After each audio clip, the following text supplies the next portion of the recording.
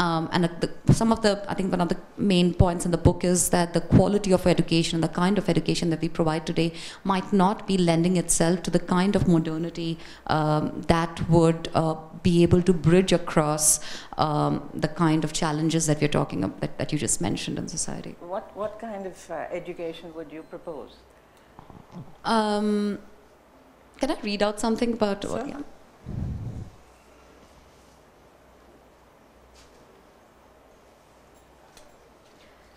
There's a fair amount of uh, uh, my thoughts on education that's sprinkled across the book. So, um, to your question, the kind of education. Um, I refer here to the kind of education that opens up the mind with questions rather than closes it with answers learned by rote. The education that teaches us to respect each other as human beings and not pull one another down even when scrambling for the same resources. The education that persuades us to stand with our head held high despite all our perceived flaws and not idolize a stereotype. The education that asks us to think for ourselves and speak our opinion, not pander to those of others. Interesting. Um, how do you compare the educational system here with what you've experienced abroad? And have you ever come across a truly free and open society in your travels? That's, that's a very tough question. um, I'm very involved in um, the education system in India, just trying to do my bit wherever I can uh, at different levels. Um, especially, um, you know, it's easier in India to contribute to the university, the higher education system, because since um, independence, the focus has always been in higher education, because the leaders, uh, the political leaders came from the elites, for whom the primary education was already was a given. So, so there's a lot happening in the higher education phase. I'm more concerned, and I find it harder to work and improve the primary education system in India. Um, in fact, there are uh, 12 million kids who are out of school, who are street kids, 12 million children in India who live on the streets. So they don't go to schools and they're just out of the whole system. They're off the map of democracy, so nobody even cares about them. So that's the segment which I feel very strongly about. And if you ask me to compare that segment to most of the countries that I've lived in, which is in Europe and US, it's heartbreaking. Um, we're talking about you know digital divides and things like that across you know um, geographies. You talk here. I think we need to we need to first look at the basic education divide that we are causing. Um, the problem with democracy is that um, those pockets of population of, of people um, who don't vote or who are not important to political leaders, people are, the system, the democratic system finds less incentive or it's just not part of the system to actually improve their worth. Um, so tribals is another example. Um, and again, education of people who belong to uh, the, the Adivasi communities, it's, you know, it's very difficult because in my work with them, I feel that uh, they don't necessarily need to be brought into the kind of education system that uh, we have currently or that we wish for either. They have their own system going, and how do we actually encourage them to develop on their own? Um, so that's you know the first part of your question of just comparing because I would be comparing this the primary and it's very it's it's really ghastly the comparison. Have I ever come across an ideal system? Society um, no and i wonder if there is an ideal society. I think you know uh, there is no ideal society. Um, i think each one of us feels most comfortable in certain contexts. And uh, that I, that that comfort of an individual vis-a-vis the setting one is in would come closest to what we would call ideal. Okay.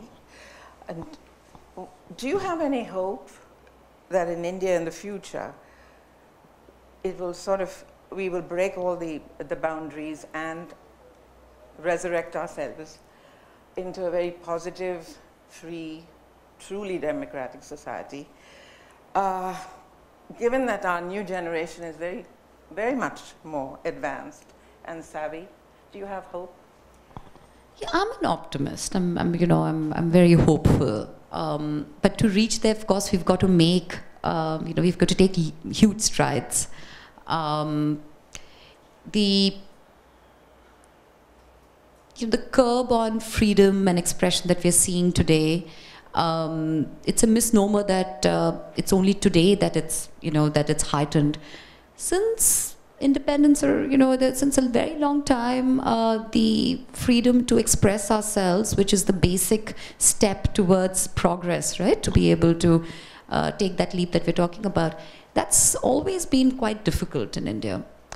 And I think that uh, if are able to crack that, then there'll be a lot of ideas that will come up that will be free to be exposed and can be taken forward then. Action can only happen after a great idea is put forth. But if you're not able to put forth that for various reasons um, and systemic reasons, which is irrespective of the political party that is in place, it's going to be difficult to get on to action. And uh, what do you think forms the basis of our values today? Money, I know, is number one. Having male children is the woman's purpose in life for many people. Producing successful IIT level children becomes very important so parents can brag about their success. Uh, you also speak about how difficult it is to accumulate honest, hard earned wealth given the nexus of nepotism, corruption, and extortion. Will we ever get out of this vicious cycle and hone in on true, solid ethical values? Yeah, I have a full ch chapter on. Um, I sound, very negative. no, no. Um, you know, there's again, you know, on values, there's nothing negative and, and, and positive can be. Um, uh, there, you know, so yeah, so there is a full essay on values, and I've put my thoughts out there. Um, I think um, if you look at the, the basis of various aspects um, of our lives that uh, we call values, our beliefs, or you know, various aspects of our lives that are driven by our values. Um, a lot of it has to do with our own individual perception and understanding of equality. Um, so, uh, so, give me the examples that you mentioned. Um, you know, the, a, a, son going to IIT, let's say. Um, every parent wishes the best for their child, right? So um, you would want your child to have what you didn't. didn't. And when you didn't, that means that within the society there is a um, you know, there's some kind of an inequality or a, uh, you perceive that there is an inequality, something that somebody else had and you didn't. And therefore comes the pressure, pressure if you may, on your child to achieve something that you feel would be the pathway to get what you didn't. Um, so most such examples, and you can pick others, it ultimately boils down to your understanding of equality um, or the lack of uh, of you versus the context that you're in. And how about the the whole the nexus of nepotism, corruption, and and extortion, which has infiltrated and corrupted the entire society? I mean, you can't you can't do something without paying a bribe. I mean,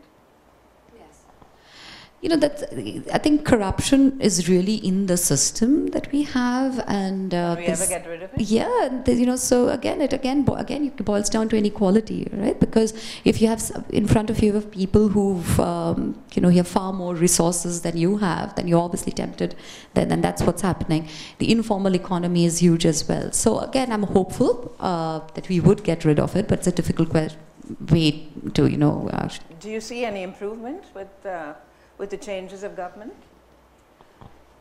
Um, I've spent quite a lot of time in the corporate, uh, Indian corporate uh, world, which is very interesting um, because um, um on one hand, um, it's still very family driven. Most of the big corporations are very family uh, driven. Um, so the power equation of uh, people who are taking the decisions and the people who have the uh, power to get things done and the contacts to get things done lie in the hand of few. Um, and on the other hand, the government, um, while there is quite a lot of emphasis on the economy, uh, there are fewer, more practical ways in which corporations or startups, big and small, can actually flourish. So if you look at the combination, you know, of the of the two, um, when there is when corporations when when there is you know when it makes it when it's more challenging to thrive as a business and when the spokesperson on the other side on the side of business is someone who has power and contacts it leads to nepotism and corruption. So there, so so there has to be a change on both sides on the way companies function in India. It has to be we have to move to from a, a, more flatter structure. And on the other side, I think governments need to be walking the talk and need to make policies which are uh, more practical and uh, I've written about this in the book as well. We are obsessed by GDP uh, and you know the numbers and the to the last decimal point. I mean, you have to look at how does that translate into actionable items and what's the result of you know the numbers that we are obsessed with. Mm-hmm. Um, there was one part of your book which really fascinated me. It was your experience at Mother Teresa's home in Calcutta. Uh, having met her personally, I was surprised to read of your experiences with the local populace in Calcutta towards the poor and deprived. Do share it with the audience, and, uh, and then you draw the conclusion about the lack of love in our society for our fellow man who has less. Um, how marriages are determined by caste, color, creed, and money, not love. I, I find that a very fascinating aspect. Yeah, um, actually, Chirag and me, we both of us, we were in Calcutta. It's my husband, um, oh, and uh, you know, we uh, you're spending some time um, in Mother Teresa's um, shelter, her home, um, and uh, and right next to that. And, and how many of you have been there? Yeah. Um, so it's quite um, fascinating because it's in an area which is right next to a temple. And on one hand, the temple draws devotees who go there for the love of God. And on the other hand, Mother Teresa's home, it draws people uh, who have love for fellow human beings who want to come and heal them.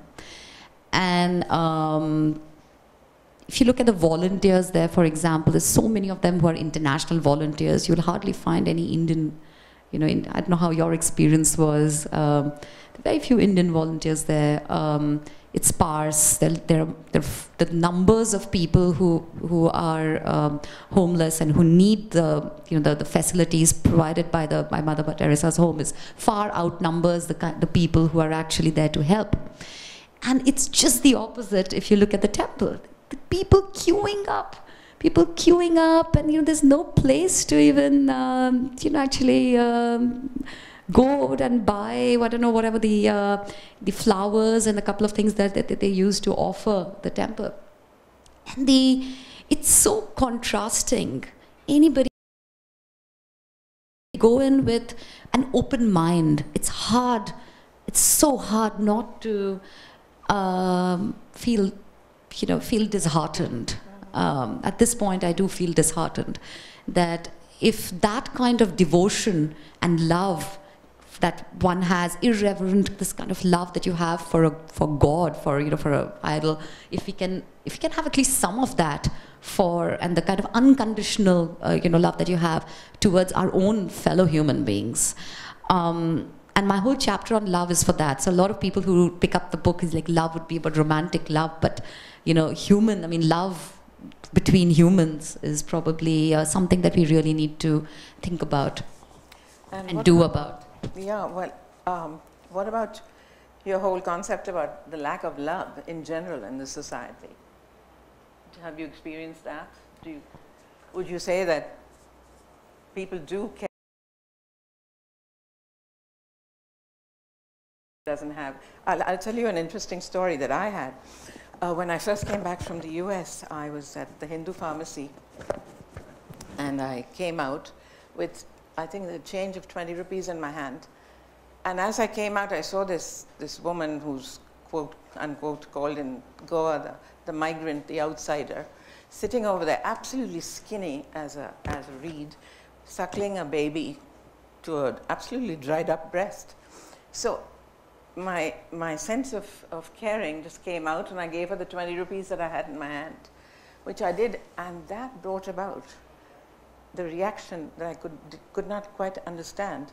There was a man there, a Goan, who started screaming at me and telling me that people like you are destroying our, our Goa, destroying our society, all because I gave her 20 rupees. These people should not even be here. Now, that to me represented a complete lack of love. And it so happened, so happened, because his wife was in a dress, I assumed that he was a Catholic. And being a Catholic myself, that is not what I believe Jesus taught us. So that came across as a big shock the total lack of indifference, empathy, to the point of anger, you know, that we should just take this woman with her baby and throw her out of the state. Um, and that, that, that is what I felt in, in, in, in Goa when I first arrived. Have you had similar experiences? Um, yeah, several. I mean, you know, I think these are the kind of experiences which uh, drove me to write the book. Um, and you know, when you talk of so exactly, Patricia, I'm so glad you picked up this example because when you talk of equality, honestly, if you're, a bunch of economists and you're talking of equality, this is not the, what you would be talking about. You'd be talking about numbers, and probably things are, you know, becoming brighter.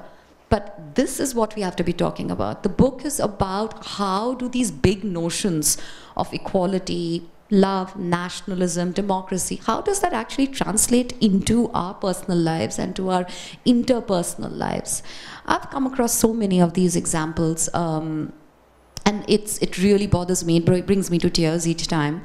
Um, I think um, there is this big, you know, there's we're very concerned about dirt in, in India, and I've written about that in the values chapter. Um, that some, you know, dirt is actually just some particles displaced, right? Like what is dirt? It's just, it, it was outside and it's just come here. And that is, it, it, that notion actually, it translates into most things that we do. That why is this girl with the baby, why is she here? She should be elsewhere. You know, because she's dirt, she's dirty. Yes. And the day that we overcome this, um, you know, negative approach towards dirt, that there's nothing that's dirty. The sand on the beach you play, and the sand which you know mixed with the soil over here is great for your farms. If it's at home, it's all right. You know, if you go even uh, for some of my travels that I did, uh, for example, in the temples. Um, you know, it's the, it's the richest temple um, of, of India, and there the tonsure, so when you shave off the head, it's considered very dirty. So, you know, anything which is coming out, any bodily, um, you know, parts, and these all considered very dirty. The, if you look at architecture, um, traditionally in our houses, the bathrooms are supposed, the toilets are supposed to be outside the house. Why? Because it's dirty, any you know, excretions coming out of the house. And that translates. So once I think we, if we if we come over, get over the concept of dirt, that it's all right. There's nothing really that's dirty. Mm-hmm. We'll I think we'll we'll really be better people for that. We'll be able to love things which are displaced. Okay. Uh, any questions from the audience? Because we have about 10 minutes left. Please.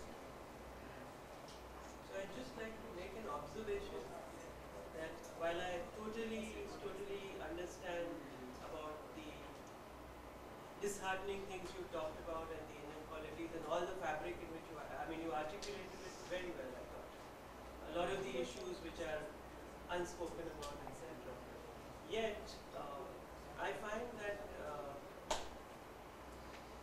we should be a little more, uh, less, or rather less disheartened because uh, we've been traveling incredible India by road for the last two decades almost and the kind of good feeling that it has always left us with on uncharted roads from from people. The kindness is what has stayed in the head and allowed us to go this far uh, into strange lands.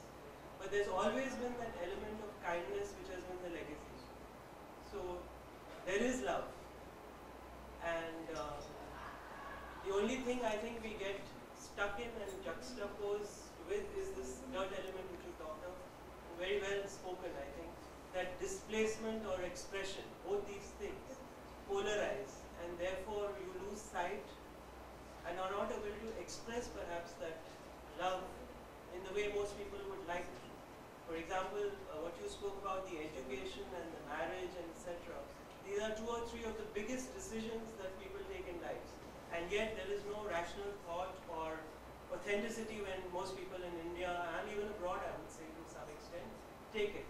So if these three things are taken care of, uh, or uh, what shall I say, not the focus of the discussion, then there is a lot of love. I mean, that I cannot explain the kind of kindness and love that we have seen in 20 years just traveling by roads by strangers. It's just when we bracket, no, what you said, we bracket it and we think it's a displacement, etc. That's the play. Now, a stranger, just, I mean, I cannot explain. I, it's really such a wonderful legacy of love. So when you are saying that, I understand it totally. But that's the what you said. The context and the settings determine Yeah. how we react. It, it is it is that so uh, it depends on who you are so if you you know if so i think you know the caste system is dismantled. A little bit of the identity is is there uh, but it really depends on the context. So for example um, sometimes gender matters sometimes it doesn't. Um, sometimes which part of the country you belong to matters sometimes it doesn't. So it, it's a mix of your identity and who you are and the context that you in are in which determines how much love you would get Okay, so just to underline that, since we are, I know I don't want to hug the whole thing, but we're both chartered accountants, so I understand where you're coming from in finance and the research part and all that. Uh, the identity part, if you just leave it behind, like we don't carry our corporate baggage when we travel, so maybe it's easier for the other person to uh, relate. Relate. So the context when you say, I say the stranger part, now he doesn't know my caste, I don't know theirs, I don't know the language many times, and we still find ways to engage and translate. So it's a lot of it is there.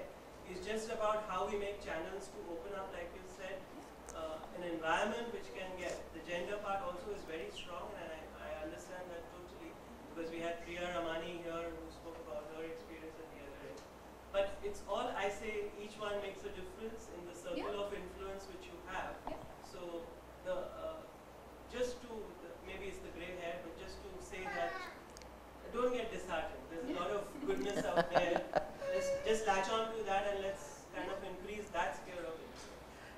Optimism has always been part of uh, one's life. Yes, yes, yes. I heard you speak about tribals and their education, and your suggestion that they should. You suggested that they should, uh, they have their own kind of education system, and that should be developed. For me, the problem is this: the education in India, the the power lies with the English language. And this kind of suggestion is often spoken about for the poor, the disadvantaged, the you know, uh, marginalized people. Won't they remain in their margins if they don't get the same kind of English education that the people in power have. Yeah, um, the um, the development um, education is part of the development, you know, of uh, Adivasi community. Somehow, um, I'm, I'm not saying that I'm agreeing that they need to be developed because that for me is the bigger question. But then let's say, assume that you know there are a group of people who people feel that okay, tribals need to be developed. Then um, that wish for development doesn't always come from them. It is usually either the government Um, it is uh, missionary organizations. Um, and then it is groups within them itself. So you can call, you know, the certain um, Maoists or whatever, you know, they are, they're called by, by us, but then there are essentially groups within them itself who say that, who think that, you know, they need to be uh, developed. And the police plays a very important role as well in, on the ground in enforcing this. Um, so the, my, my take on this is that is it their choice? It's, it's not coming from them, number one. The second is that when you talk of education, and let's say, you know, in case education is an important part of development and stuff, and if we are going, then the primary role of education should be to have a person know about the choices available and to be able to make a choice that is best suited to that person. And then that's another completely another different thing that is the person in a situation where. Where the person can actually implement that choice or not and which is going to be which is very difficult you know for uh, people in A the person- tribal A communities person who's uneducated. yeah Yeah. so um, in that context i think what you said that to be able to to be able to know the choices he's wondering why is mama not with him So um, to be able to know the choices, I think that's where yes, English language or you know whatever the language is, maybe the local language is important. Uh, but we should be very clear that it's not just English; it is also uh, education should be aimed at um, not literacy. Literacy is not education. It should be aimed at getting them to understand what choices they need to make. Because otherwise you know you teach them abcd and in english language but at the at the other end you know you're you know they, they then just go and vote for who they are being forced to vote to. That is not a, you know the uh, that yeah that's not the result of education. I think we'll have to stop here because I see the, the people waving out to me. Please give a hand to Miniya, And, and, and, and do buy her book because it's, it's simply fascinating. Thank you. Okay, thank you. Thank you. patricia